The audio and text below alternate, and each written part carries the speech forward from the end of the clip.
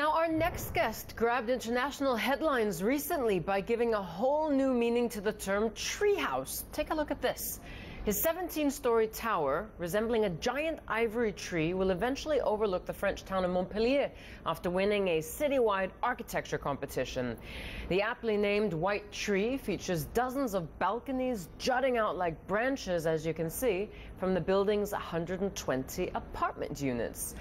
Now, Nicolas Laisné is the owner of Nicolas Laisné Associé Architects, and he joins us now. Nicolas, good to have you with us. Talk us through what, what your vision was behind this project. Uh, yes, thank you very much. We had the um, feeling that uh, in Montpellier, uh, outside um, uh, living is very important in the city and in the way of life there. And uh, the way uh, this building is organized is to um, have this quality of life in um, a building which is in the center of the city. And and the idea is to bring part of the outdoors inside for everybody, even though you're 16 stories up. Yes, absolutely. And and what Every... was again? Yeah, what was your inspiration for this?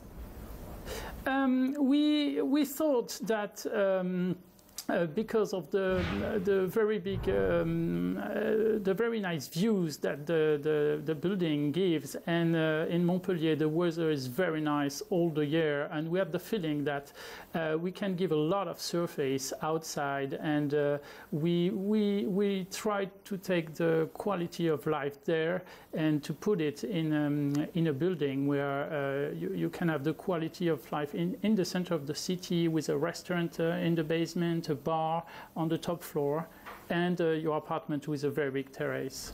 And when is the project supposed to be done? Uh, it's supposed to be done in uh, 2017.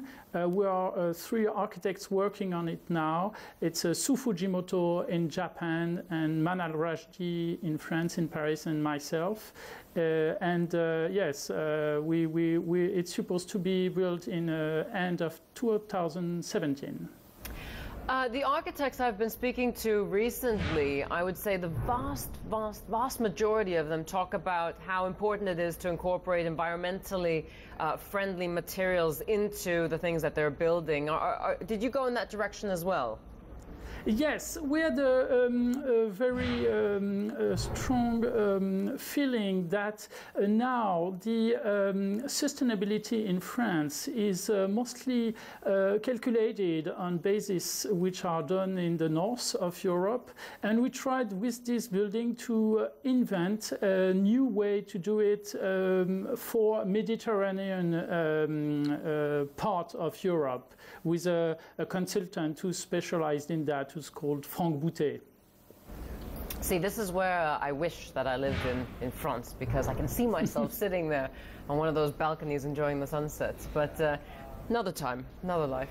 Nicolas, thank you very much. Uh, Nicolas Laisné, owner of Nicolas Laisné Associé Architects, uh, with us here to talk about this project.